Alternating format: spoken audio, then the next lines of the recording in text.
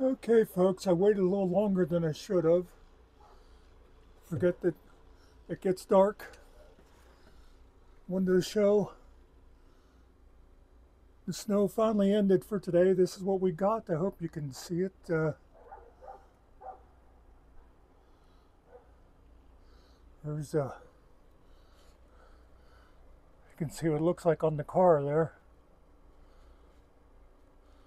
This is January 6, 2024. A day that will live in infamy or something. There's get a little view of the way it is on the porch there, you know.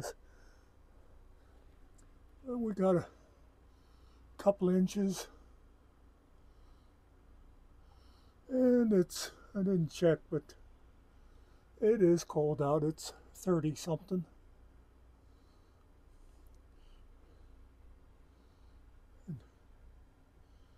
Think the uh, crazy neighbor kid was out playing in it, but I think he must have gone inside now. Uh, just another little shot of the, there you can see it's still snowing. See those flakes going by? It's still coming down a little bit. But this started about noon today, and this is what we got.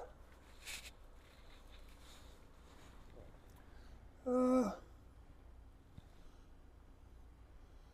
I should just make this my uh, video for tomorrow, huh? But uh, I can't think anything else to talk about except that uh, we got snow.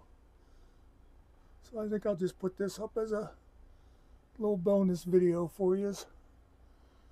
For those of you that don't live in snow country or people who are originally from this area want to see what now, you know, this is an old guy thing to say, but it's true.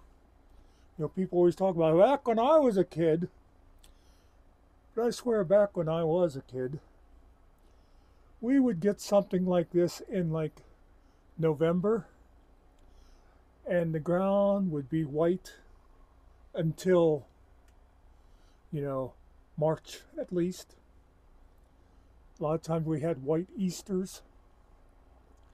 Um, but this is like the first snowfall of any significance so far this whole season.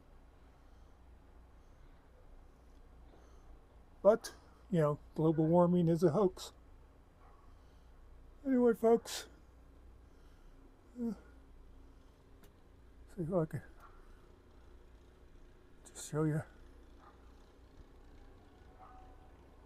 And I guess that uh, pretty much covers it, huh?